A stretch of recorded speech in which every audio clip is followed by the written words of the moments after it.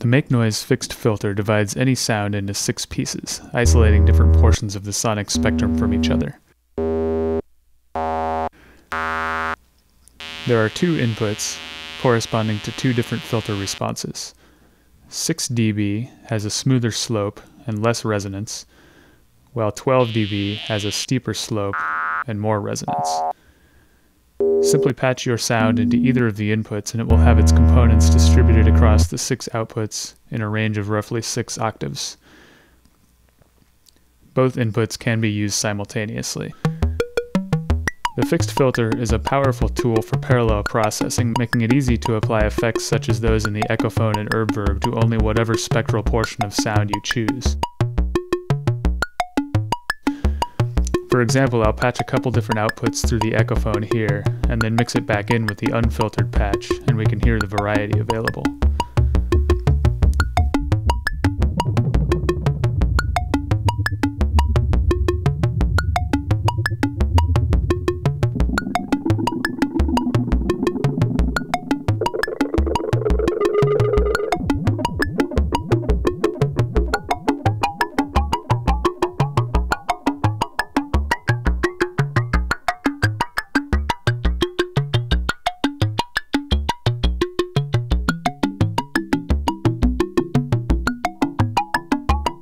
Also, because the two inputs are simultaneously available, the fixed filter can easily be used in feedback patches.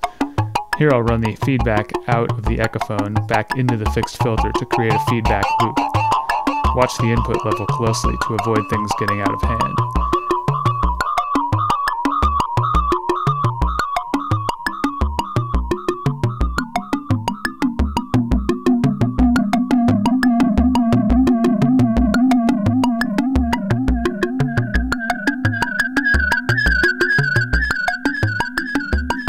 We could also take an additional output to the Echophone feedback input and get a little crazier.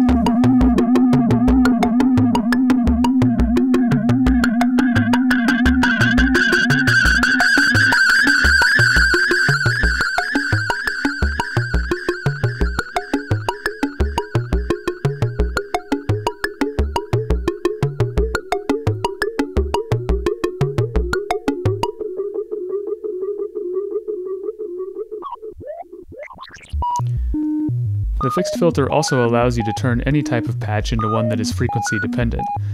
For example, we could use it to apply FM to the right side of the DPO only when the left side is in a certain frequency range.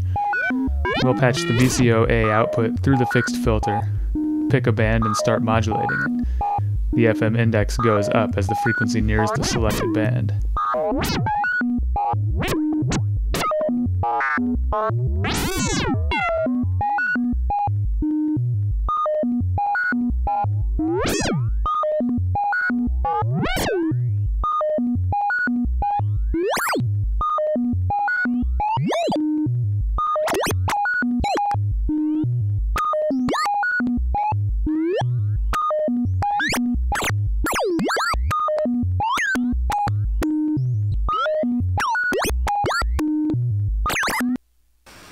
It's also a powerful tool for creating percussion. A complex sound, especially one with elements of noise in it, can sound like different percussive elements when sliced into spectral pieces. For example, here's a heavy sound using cross modulation on the DPO.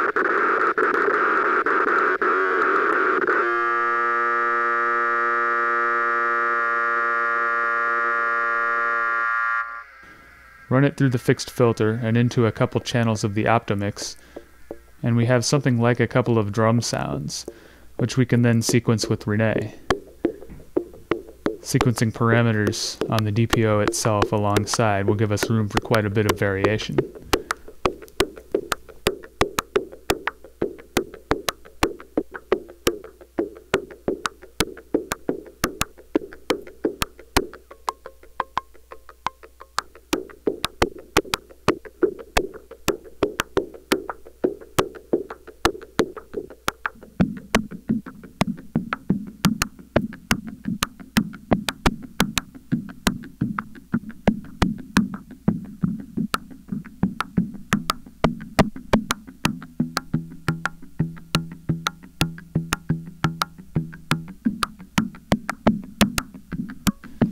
The fixed filter can be connected to a RxMx for an easy way to scan, blend, and animate the different outputs, but even on its own it can be a fun addition to a modular system.